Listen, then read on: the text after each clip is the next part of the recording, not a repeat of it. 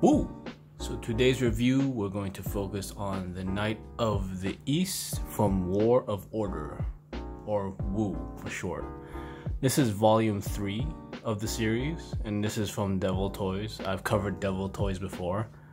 They Their style is more cyberpunk, Japanese uh, combination, futuristic plus traditional, if that makes any sense. Uh, I came across this guy at my local listings as usual. Uh, he looked pretty cool. He had this, he wasn't so robotic, but he did have some qualities to him that really jut out at me when I looked at his pictures. It was just a unique find, basically. Uh, he's like a samurai guy plus a sniper because he comes with a gun, a, some sort of futuristic musket, and he has two head sculpts. So, uh, as for lore or story behind this guy, as usual in my videos, I have no clue who this guy is. I just got him because he looks awesome. So, that being said, let's take a look at this weirdo. And here he is, the Knight of the East. As you can see, he looks very cyberpunky, plus traditional um, aesthetics. Let's see if I could rotate him just a bit. He he's he's decked out with detail. This guy. Um, he just looks that interesting to me, so I had to get him. Let's see if I could zoom in a bit on this on this boy to have to edit a close-up on him. There we go. I could rotate him better now. So here he is. Um, if you can notice, there's a little black wire there. I have to have it there because he comes with some accessories that do not go on him properly. So I have that wire on him just to secure it. I'll show you guys later. But here he is. Let's see if I could fix the lighting just a bit. Just a bit, just a bit. Sorry. There he is. Yep. Um, I don't know why the his colors are a bit blown out in the video. I could see it right now, but in person it's more toned down and more darker. It's a very I don't know if he's a robot or just a like a cybernetic enhanced human.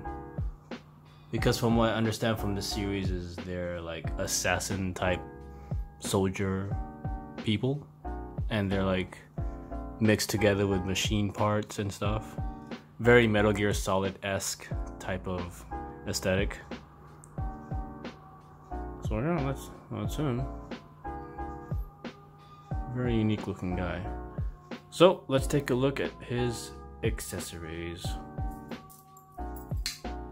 Sword, swords, gunny, flag, flag, little bits, extra head, hand, hand, hand, hand, hand, and little thing.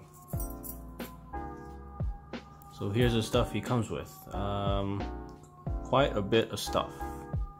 It's pretty hard to stick all these things on him because there are no holsters for any of them. Uh, before we move on, these little string things attached to the weapons, these are twine I tied myself because there is no there's no way to put these things on him. There's no storage on the figure itself, so I had to improvise just a bit. So with that being said, let's take a look at his little little flag thing. Now he can wield this if he so choose because he had it, this is basically a weapon. I guess this is his clan emblem or something. His organization.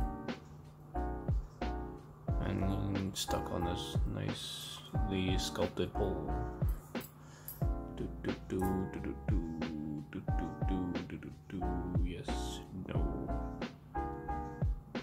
I think it's time for me to get a new phone. Oh, not focus when I said that. so yeah, it's very steam, no, not steampunky, but it's very futuristic.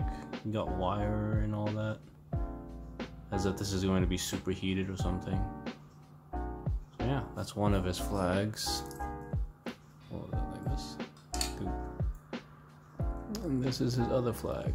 Please don't ask me what it says, because I do not know what it says. If if this is kanji or something, maybe you guys can let me know what it says. Mm, yeah, it's only on one side. Uh, sculpt is basically the same. It's basically the same. It's just different flags, really. Um, again, there are no ports, there are no clips on the figure where you could stick this thing on, so I had to improvise with that black wire you saw.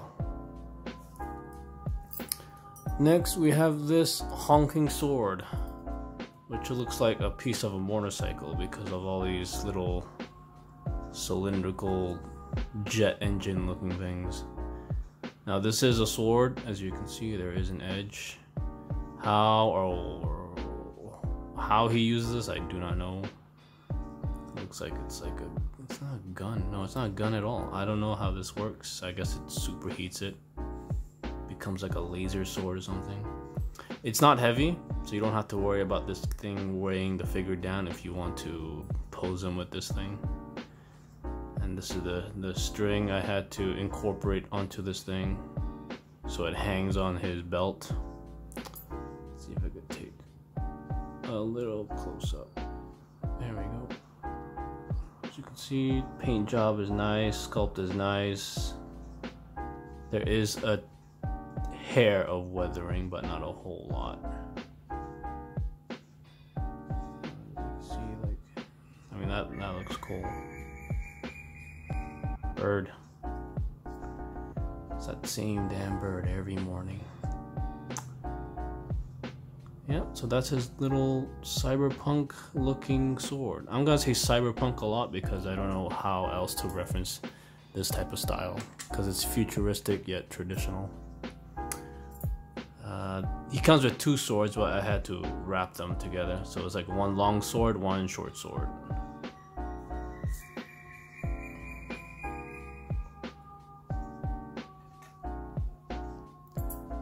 Mm, yeah, it comes. Let's see if I can focus. Just a bit. Can I focus, please? Focus. There we go. So this is his short sword. It's like it's patinaed. peanut. It's patinaed. Like it's it's seen some use. I'm gonna throw this phone out the window. I don't know why it's having such a hard time doing this. It's it's right here. Why can't you focus? Yeah. Let's see if I can focus on the big one. Wait. I mean, this isn't die-cast, unfortunately. So it's it's it's it's plastic. It's pretty bendy plastic, so it will snap. I do not know how to focus this thing. There we go. See if I can hold that focus. So you can see the handle.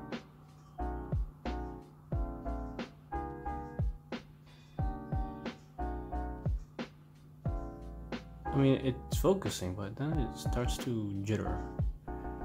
Well, that's a sword, I guess. Let's see if I could do this on camera.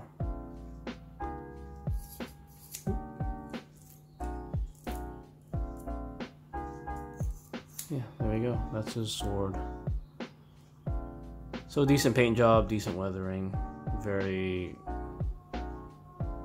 I'm gonna say cyberpunk. It's very futuristic. Looks like it be belongs on a Gundam or something.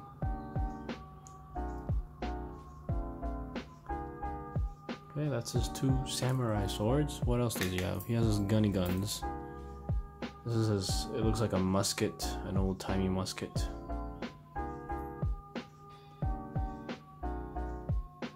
The clip doesn't come out. No, no, no, no parts move because this is damn toys. So they're not that in detail. Hmm. Let's see if I could focus manually here. There we go.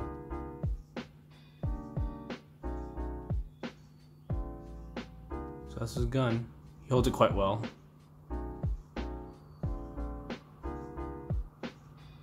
Yep. What else can we look at?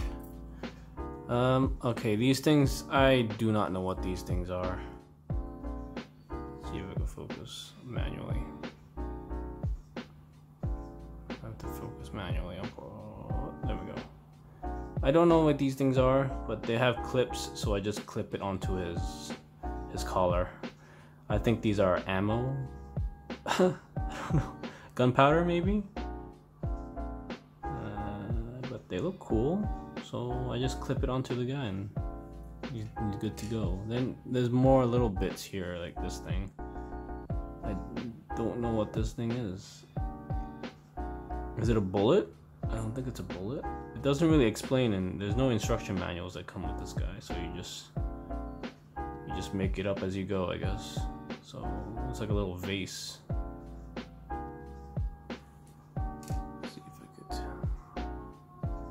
And then he's got some hands.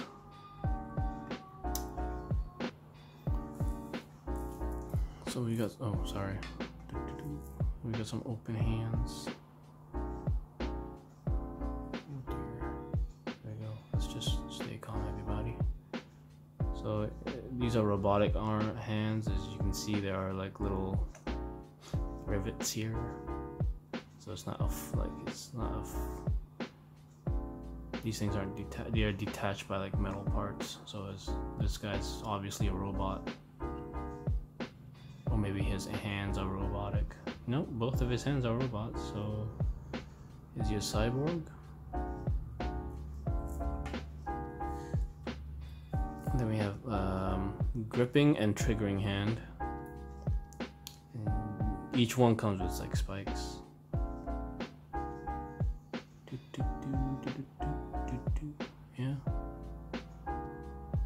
They look like Gundam hands. They remind me of Gundam, these little, little, little details here. So this is for, obviously, his gun. Because of the trigger. And his... Oh wait, these, okay. There's a trigger hand for the other arm, I guess. Yep, another trigger hand and another gripping hand. So that's his hands. And lastly is is extra head. Uh, from the promo pictures I've seen, this is only used when he's like wielding the gun. So it is like his gun head, I guess, so he could target his his prey or his his contract with this helmet.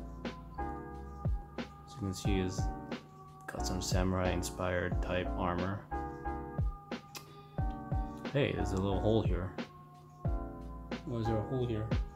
That's weird. Oh, I think this is where the feather goes. I'll show you guys later. So yeah, that's his little um, shooty head. The head he uses to shoot or target. Let's see if I can close up. Does it close up? Does it close up? No? Yeah. So it's very robotic. Very cool. So that's it. That's the stuff he comes with. It's quite a bit. You can stick all this on him, except for these things. I don't know what these things are. I just keep them in the box because I'm scared I might lose them. But the rest you can stick them on the figure uh, carefully, and I'm going to show you how to do that right now. So here's the knight all kitted out with all his accessories on him. Uh, as you can see, the rope the, the twine or the little string I attached them is being looped into his belt. So they're pretty secure on there. Don't have to worry about them falling off. And the way I stuck these banners on him is, as you can see the black wire there, I basically tied it around him and just stuck each pole behind him, so it's secure. Now these things will will not fall, but you do run the risk of kind of ruining the aesthetic of the figure. Uh, yeah, there is pretty pretty handsome dude. Like I said, I don't know what these things are, so I just clipped them on just to fill out that space. I don't know if it's gunpowder, ammo, or medicine. If anybody knows, please let me know. I don't know a lot about this series. I mean, there's a bunch of these guys, but as you can tell, I, this is volume 3. There are other assassin type looking guys. But this guy is the most different because of his his overall aesthetic of being some traditional looking warrior. So that's him. Doo -doo -doo. Very fancy. Let's stick the other head on him and see how it looks. So here he is with the other head sculpt, the sniper type head sculpt. I mean, this is what they use when they pose him with the gun. And uh, yeah, it does the trick. Ooh, wobbly. I have a QC issue with this head, unfortunately. I just found out just now. If I could just... There we go. Um, this is missing something. I do not know what it's missing. I thought I could stick the, the little hair piece here onto here, but this isn't removable at all. And this is also missing a, a suction, not a suction, just a, a place to peg that ball joint in. Like this is, this has it. This doesn't. Has it? It doesn't. So they kind of screwed me on this head sculpt. But I don't really use this head sculpt as much. And as this particular figure's worth is kind of rising in price, there is no chance of me replacing it. So yeah, there we go. That's it.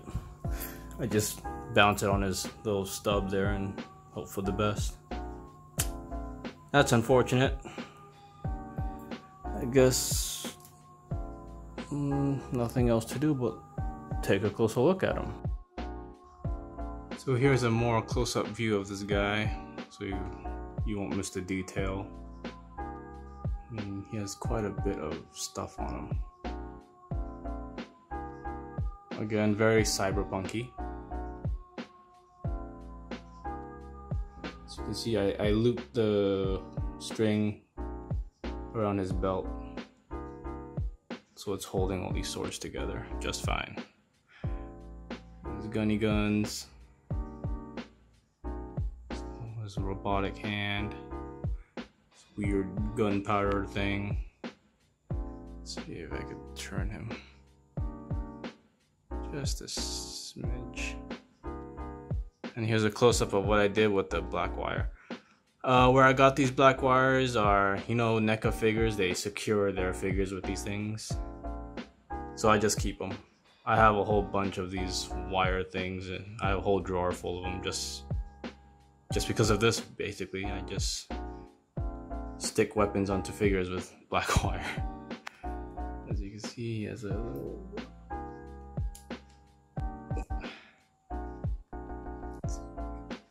There we go.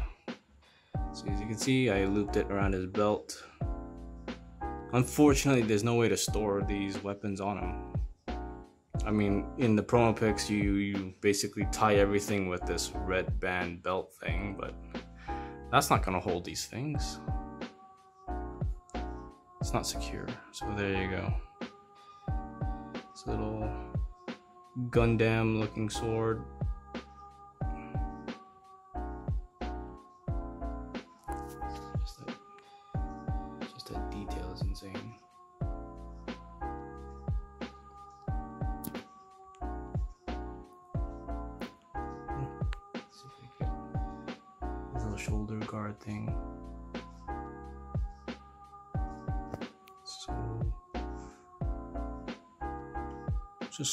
Figure.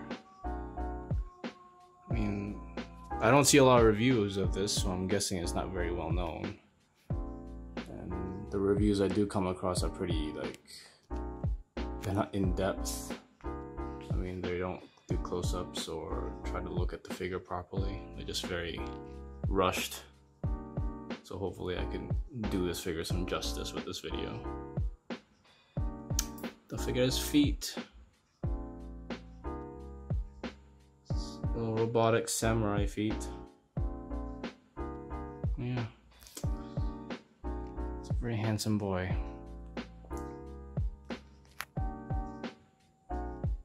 Do-do.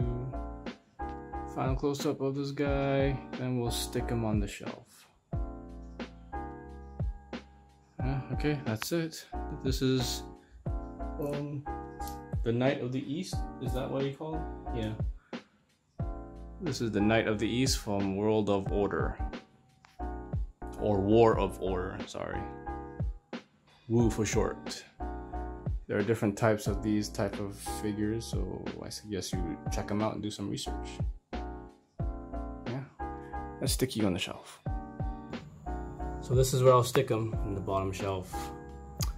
I kind of like reviewing obscure figures like this and like this guy or like that guy because there's not a whole lot of information out there if someone decides to buy them so maybe my videos can help them just a bit like with some close-ups or something whether or not it's worth the purchase because this guy is not cheap from what I've saw on eBay. Uh, he goes for like $300 which is weird because I did not come close to to paying that for this guy. So I think he's kind of up there. He's rising in price. But maybe, you know, maybe it's just eBay prices and the seller is just ripping people off as eBay does. Well, hope this video helps you guys in some way, shape, or form. Would I recommend this? Yes, I would recommend this to any collector 1 6 scale. He's just that unique to get. Alright, so thanks for watching to my 17 subscribers. Yay. Go get them.